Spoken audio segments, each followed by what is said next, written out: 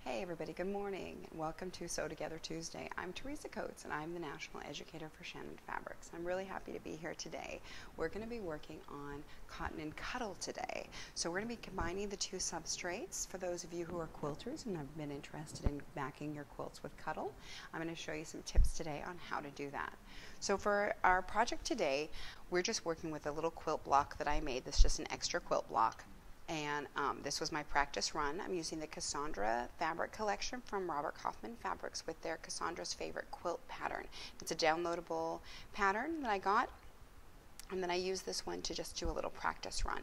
So I've got my quilt block, I have my uh, Quilter's Dream Poly uh, batting, and then I have a cuddle back. I also have my 505 spray.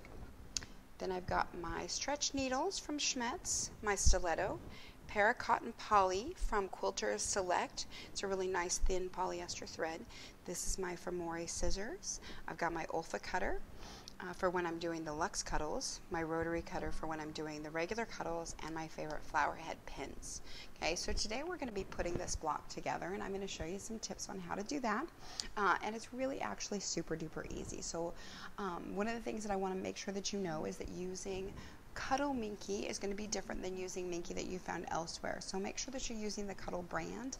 Um, it works much better and um, has some uh, things about it that make it better for working with um, for a quilt back. One of them is it's got a really nice pile to it, so it's um, it's going to be really beautiful. But it also only has a two-way stretch. So using um, something that has a four-way stretch will be harder, um, whether you're doing it on your machine or a long arm, which you can do both. Today we're going to show I'm going to show you how to do it on a domestic, but it's absolutely doable on a long arm, and I'll show you an example of that later. Okay, so let's get started. So I'm going to first take my tools away and then I'm going to put these three layers together. Okay, so what I want to do is I want to adhere these three together so that they um, will work as one piece and I can quilt them. Okay, so what I'm going to do is I'm going to put this piece of fabric down. This is just a scrap piece of fabric that I had, some cotton, and I'm going to use that as my um, like overspray.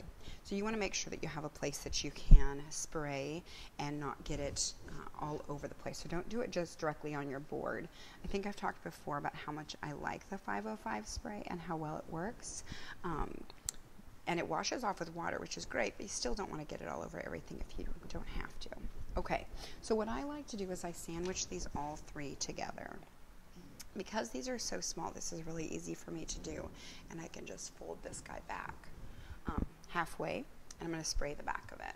Okay? Get that all nice and flat so you guys can see it. Okay, so I'm going to spray the back of this with my spray. Okay, and then I'm going to push this out, and I'm going to get my middle nice and flat, and I'm just going to sort of work it out so that it's flat and stuck to the batting. So that's just me manipulating the fabric a little bit, make sure that it's it's going to be flat on there. Okay, that's really important. Okay, so I've got that, and then I'm just going to flip this around. Ta-da! Okay, and then I'm going to pull this side back. I'm going to do the same thing again. Okay, and I'm getting this so that wherever, if I get overspray on any of this, it doesn't matter. So I want to pull that back just the tiniest bit so that I don't get any on the front. Okay, and you can see I don't use a lot of spray. Um, sometimes people want to really overspray it and it's it's not going to help. Um, all it does is make it messier. And if you really overspray, it, it'll soak through your fabric, and that's not what you want at all.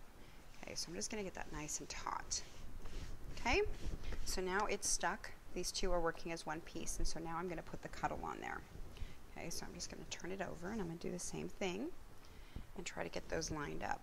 So if you were working with a large quilt, obviously you would do this a little bit differently. Um, but not much. Um, you just be having to work with it slower and one like row at a time. Um, if you have a way of working with it because you've done bigger quilts with it, I'd love to hear your techniques. Um, so leave me a comment and let me know what you do. So I'm going to push this up. Okay, got that sprayed. I'm just going to put this out nice and flat. Okay, so then like always with the 505 spray, just make sure and pat it. I'm going to turn this around and do it from the other side. Okay, and I'm doing the same thing. Make sure I'm covering everything. Make sure I'm not going to overspray the front. If I should overspray it, it's totally washable, but I try to avoid it if I can. Okay, so I've got that out nice and flat. All right, and you can see I made the back just a little bit bigger than the front. Okay, so now I've got these all stuck together. If I were doing, oh, got something on my quilt. Um, if I were doing a uh, larger quilt, I would put pins in this. I'm just going to put, or some like safety pins. I'm just going to put some of my clover pins in here. Um, I would use the safety pins just to protect myself because you're going to stab yourself a little bit doing this probably with the, the regular pins. Okay. All right. So I'm going to do this. Once I've got this set up, I can totally just quilt this like normal. So I would take this to my machine and I would quilt it. Okay. I'm going to show you just a little bit of that um, because it's really the same thing as you would do on any other, but I'll show you how well it works. Okay. Come on over here.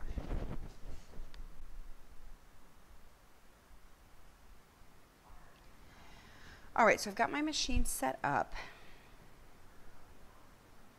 and um, I'm at a three and a half stitch length. I've got my walking foot on there and I'm just using a straight stitch. So I'm just going to do a little stitch in the ditch here um, just inside of there and show you how it works. Okay.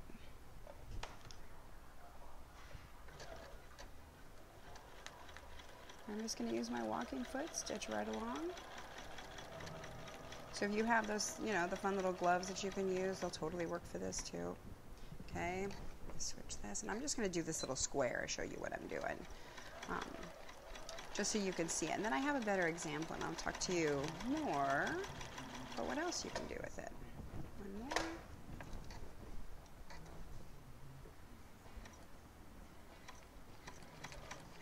And you can see I'm just letting the side of my foot there ride next to the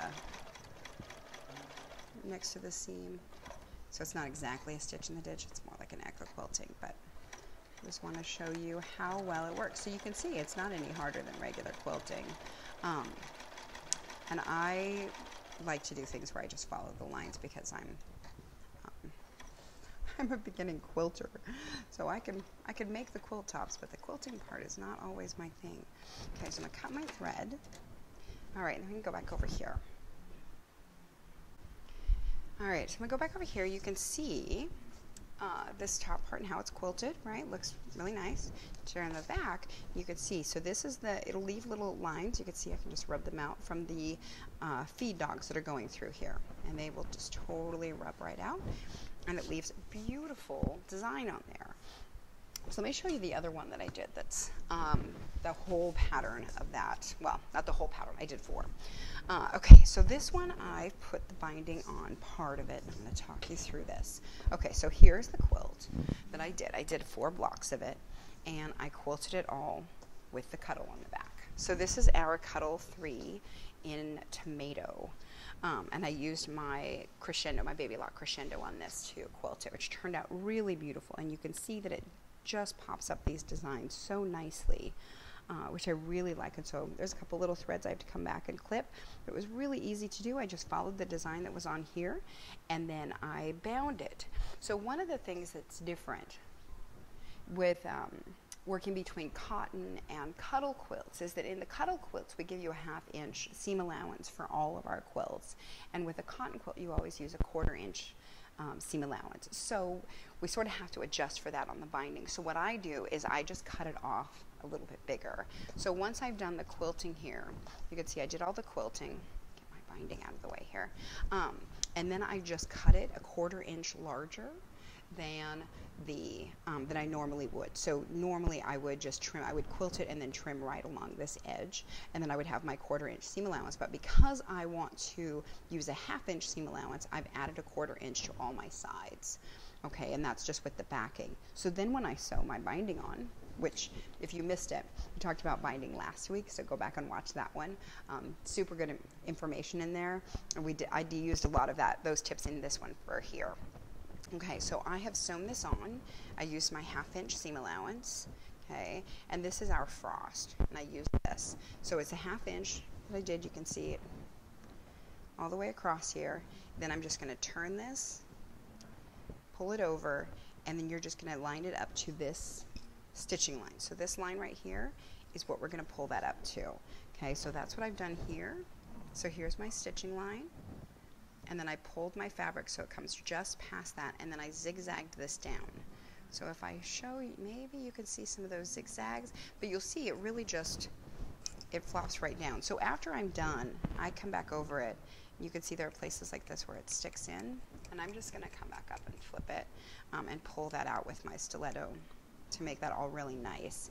Because um, there are definitely areas that it'll look uh, worse than others. So here's a spot that I haven't touched yet, and this one, it's got down all the fibers get stuck in there. So I'm just going to come back with my stiletto and I'm going to come over that and I'm just going to flip them up. Okay. I'm going to pull it up, make it fluffy. Okay. And then it looks really nice on this side. So I can do the same thing on the back because you'll notice on the back it does that and it'll hold it down. And I will do the same thing and I can just come back over this and fluff this up. Um, one of the things too is that once you wash this, all of these come back up out of the stitches and looks really nice. Okay. All right, so that's how we did that. Excuse me. Um, so it's just folded over, stitched down, just like I showed in the last video. Okay, but I just want to show you how pretty that is. All right, it's really beautiful. So you can use this um, the way that it's so pretty, you can totally use this in other ways. One of the things that I really love to do is using cuddle on both sides, okay, and that's a whole different look. And you can do that for a large blanket, and especially if you have a long arm or you have a favorite long armer, um, like I do, then you can send them the cuddle, use the cuddle and um, the batting inside, cuddle on both sides, and quilt it up. And I'll show you what that looks like. Okay, so this is one that I did, excuse me, uh, this is one that I did just on my, um, the baby lock and I stitched it and then I was stitching it the other way and I wanted to leave it so that you could see it. So this one I used a, um, a fluffier one in there. So this is actually like a warm and natural that I use that gives it a little bit more fluff. Um, it really is your choice. We use the um, Quilter's Dream Poly on a lot of projects because it's really thin and so it's easiest to quilt with especially if you're using thicker fabrics. So this one I just did the line and then I did one next to it and then I measured. Um, one of the things that I love, so if you're a quilter and you have ever used a Hera marker, um, which is a great tool for marking black spot on there um, for marking your fabrics when you're going to do the quilting. Um, I use this on my cuddle too, so I'm going to line this up so that I want it on my three inch mark, and I'm going to line it up with my lines that I did before. And I'm just going to run this on here. If you use this on cuddle, sometimes it's hard to see, or on cotton, sometimes it's hard to see, but on the cuddle you can see it really well. So you can see this line, and I can easily take it over to my machine, follow that line, and stitch it up. Um, and it works out really, really well. So you can see this is beautiful from both sides. Really nice. Okay, so that's one of my favorites. Another thing that you can do is you can use luxe cuddles on the back. So this one I just did a little meandering little quilty thing on the front here, um, totally random, and quilted this up with just cotton on this side. This is Kona cotton from Kaufman, and this one I used the cotton, and I also used the poly. Okay, so I used those two. I stuck these two together, and then I basted them to these fabrics on either side. Okay, this is a really nice, this is one of our uh, Luxe Cuddle hides and it has this really pretty backing that sort of pops through. Okay, so what you can see when we've done it with the longer, so you can absolutely do it, but what happens is that these get stuck down there um, pretty well. And so you just kind of have to come back over it and pull these guys up, which you can see is not really too time consuming. Um, I like doing this while I'm, you know, watching my favorite movie or something, pulling these all up out of there and it will give it, it almost hides the stitching where you can't really see it once it's pulled up out of there, but it will quilt it and make the back of your quilt the softest, yummiest thing ever. So that's the thing that I love about it is honestly, if you give somebody a quilt that you have made with this on the back of it, they will never again put it in the closet. they will just keep it with them on the couch forever and always. Okay, so you can see how easy that is. It just pulls it right up, hides all of your stitching, and is still super duper soft which is great. Okay. The only thing that we've noticed that can happen sometimes is sometimes, and let me see, I had one spot that did it on here, that the fibers will come up through. And see now it's, oh, there they are. So right here, I don't know if you can see this, but there's a couple little fibers that came up through. If I'm really careful, I can come back over here, I can make sure that this gets pulled up and out of there. Okay, and they can sometimes disappear. We'll see if it did. Yep, pulled it right out. Okay. So that's the easy way to take care of that. The other thing you can do when you're long arming it, I know that some people do, is that they'll long arm it from this side. So if you're doing an all over design, a computerized design, that's a great way of doing it. It's just using this on the top. Okay, so uh, there you go. Super duper easy. So that's with the Luxe Cuddle quilted on this side. You can't even see it on this side, which is wonderful. Uh, and then I wanted to show you this one. So this is one I'm hoping you can see the design in there. This is one that I had done uh, with my long armer, and she had not quilted with Cuddle before, and I asked her, if I send you a little quilt, will you do it? And she did. So this is just a little drunkard's path. Is a little drunkard's path. This is art gallery fabric um, that I had made a drunkard's path with, and then I had her quilt it with the Cuddle on the back okay? Makes these beautiful little loop-de-loops, which is just gorgeous, and then I bound it with the Luxe Cuddle. Um, so you can do either one. So you can do these on your machine at home. You can totally um, use your your rulers and all that sort of stuff. Quilt with it. It's beautiful. Or send it to the Long Armer. Um, we have download or downloadable tip sheets that you can get from our website. So if you go to shannonfabrics.com, we'll probably put it in the comments later um, so you can have those. And there'll be some tip sheets on working with the cuddle and cotton and also with long arming cuddle. It's a great way to combine your two loves of cotton quilt making and cuddle um, softness. So if you put the two together, they make quilts that are just the best thing ever and people love them. Um, so I really recommend you giving it a try super duper easy.